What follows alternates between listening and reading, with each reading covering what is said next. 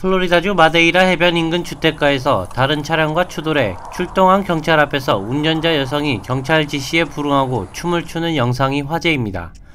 현장에 출동한 경찰은 음주운전을 의심해 사고 차량 운전자 여성에게 바닥에 표시된 흰선을 따라 똑바로 걸어보라고 요구합니다. 이 여성은 38세 에이미 해밍턴으로 바닥 위에 흰 선 위로 네 걸음 걷고 비틀거리더니 갑자기 춤을 추기 시작합니다.